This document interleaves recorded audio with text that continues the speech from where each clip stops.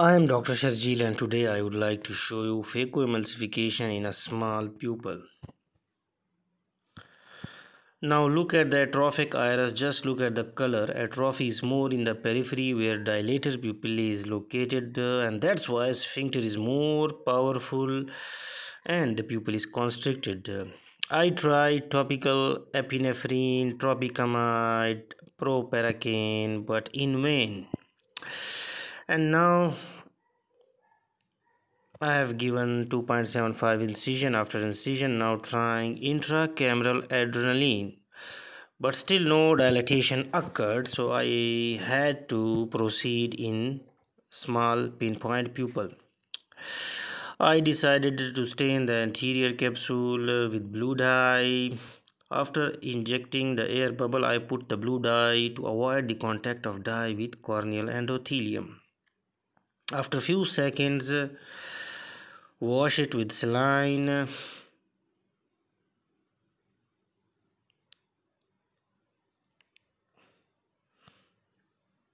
You can see that the capsule has been stained and now put viscoelastic to create room for intracameral manipulation. Now if the nucleus is very hard and pupil this much constricted straight away perform manual ECCE or small incision cataract surgery but here uh, it is NS4 cataract so I started the most important step how to perform capsulorhexis in a small pupil. Well, you have to give a radial cut in the center, elevate the flap, invert it and then continue it behind the iris. I have performed it number of times without a single uh, radial capsulorhexis. Uh, if you do small rhexis uh, in a small pupil, phaco becomes extremely difficult. So here you can see that the margin of the capsulorhexis is not visible. It is behind the iris. Large capsulorhexis is the rule in a pinpoint pupil in my technique.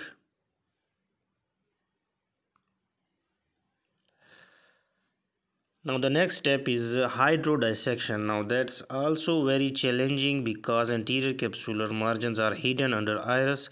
So you need to press the anterior lens surface with the hydrating cannula and go behind iris and inject water. As cataract swells it means you are in the bag and you have done the right hydration like we have done. And now we are starting uh, phacoemulsification in a pinpoint pupil the second instrument becomes extremely important.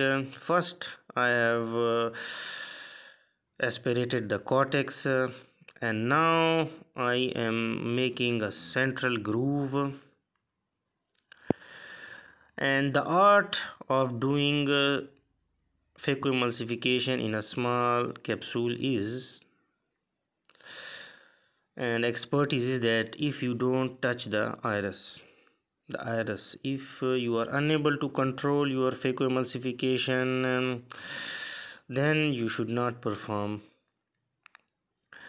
you can use uh, iris hooks uh, you can use uh,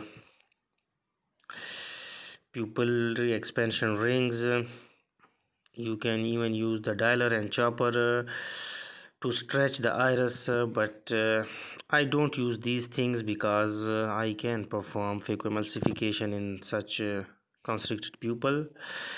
Now you can see that I have elevated the nucleus and now with the second instrument I have divided the nucleus into two pieces and along with the continuous uh, chopping I am also aspirating the lens matter. You can see now I am rotating the nucleus. Again I have divided it into four pieces dialer uh, the, or chopper the second instrument becomes extremely important in such a small pupil. Now you can see I am slowly and gradually rotating the nucleus uh, and chopping and aspirating. So that's my technique. Elevate it from one edge and chop it uh, with the second instrument and aspirate it now again I am putting viscoelastic uh,